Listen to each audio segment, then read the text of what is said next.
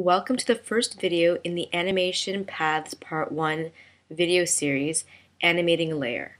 I know that many of you are very anxious to start animating, but the next two packs are going to be devoted to teaching you how to create animation paths, and these are sort of a precursor to actually animating in the software. So to begin, I'm going to talk to you about the animate mode. Um, and what we're going to do is we're going to animate the door. So I'm just going to um, disable the Karate Rabbit and the punching bag from view so that we can get a better look at the door. And I'm actually going to zoom in to the door. So with the animate mode turned on, any transformation that you make with the transform tool will get recorded on the frame that you're on. However, if you turn this off and make a transformation, any movements that you make in the camera view will be applied to the entire layer. And I just realized here that um, all of my layers only go for one frame. So what I'm going to do is extend all of my layers. I'm just going to turn these back on. Let's have them go for 60 frames. Oh, right. I can't use the keyboard shortcut F5, um, as you see here, because it turns off my video recording software. So I'm just going to say extend exposure. Um, and now all of my exposures have been extended.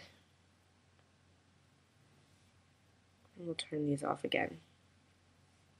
So I'll give you an example. So let's uh, let's find the door. So I'm going to select it here in the camera view, and I'm going to bring up my timeline view toolbar again. So go to Windows, Toolbars, Timeline View. And then I'm going to hit the center on selection so it brings up where my door is.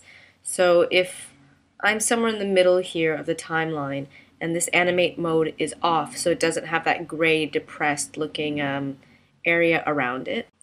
And then I'm going to make a move with it, such as closing the door completely. And in fact, I'm going to make it slightly bigger so you don't see any of the sky color around it. And then I click on my red playhead here and I move it across all the cells. You'll notice that this move is permanent, so there's no keyframe and it doesn't just move from the place it used to be to this current position, it's actually in this current position for all the frames. However, if I do want a keyframed and interpolated movement, what I can do is I can select a spot that I want, let's say frame 30 for example.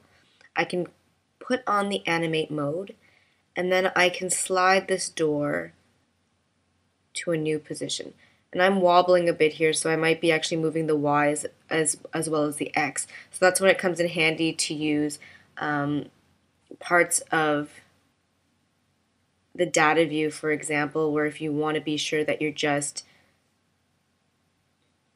using the x position and not the y position, so I can undo that and then just move along the x position here.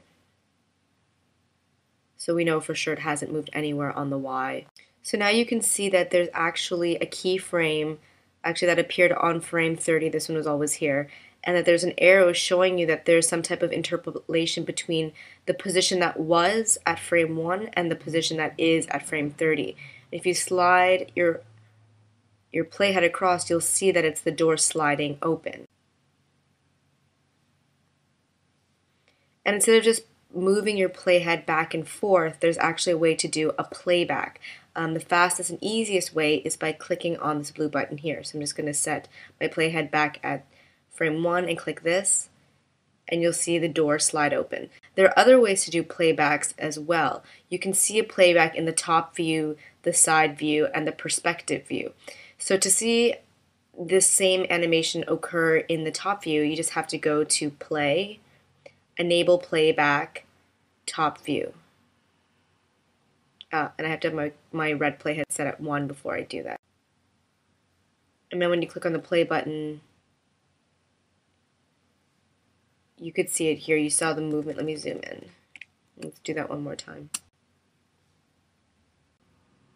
And so we see it sliding along there.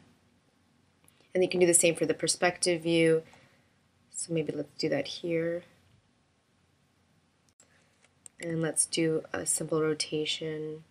So maybe let's look at it from behind. So here's the door here.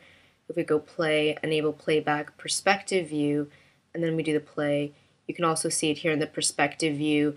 Of course, you can also do that for the side view, though I don't think you would see anything because what you'd be seeing in the side view is this. So it would appear as if it's in the same spot, even though it's sliding towards you. Um, I'll show you what I mean. So I believe our door is right here. And I can enable the playback, but I don't think you're going to see much. So side view, and then we press the play button. So you can see it moving slightly there, but it doesn't look like it's moving at all here. So you have to judge what's the best view to look at your playback from depending on what you need to see. So that's it for the tutorial animating a layer. Stay tuned for the next tutorial all about pegs.